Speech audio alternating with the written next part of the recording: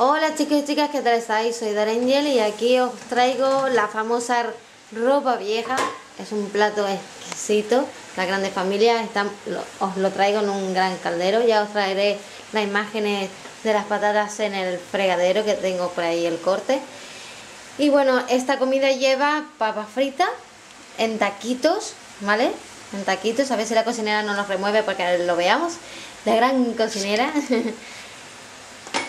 Lleva pechuga de pollo porque en vez de echarle carne, que normalmente se le suele echar carne o pollo, hemos decidido hacerlo esta vez con pollo.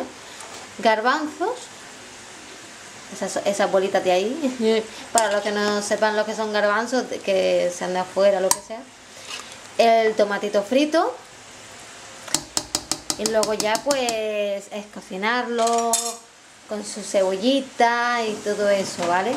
Antes de meter las papas siempre hay que freírlas en taquitos para que no, no sé, no, no se queden duras ni nada, ¿vale?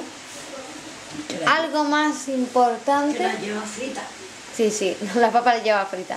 Es lo único. Mira, mira, mira, mira. Y aquí está, vamos a ir a por las papas fritas. Eh, oh, oh, las papas fritas. Que esas papas fritas irán al calderito. Así que nada chicos, espero que os haya gustado. Un gran plato, un buen caldero para una gran familia. Ahora queda probarla, ¿eh? y se probará y se disfrutará. Pues nada chicos, espero que os haya gustado. Un beso y hasta la próxima. Aquí está el pedazo fregadero lleno de patatas. Y ahora, bueno, papas aquí en Canarias. y ahora os vamos a enseñar la, lo que es la ropa vieja, pero con carne. ¿Habéis visto la de pollo? Esta es la de carne. ¿A qué tiene mejor pinta, eh, chicos? es una pasada. A mí me gusta más la de carne. Pero bueno, que ya os traeremos la receta tal cual, como se hace, con sus ingredientes, cómo se prepara, paso por paso, para los que quieran hacerla o, o intentarlo o que sus padres la hagan.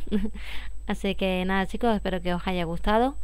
Os mando un beso muy grande y nada, hasta la próxima.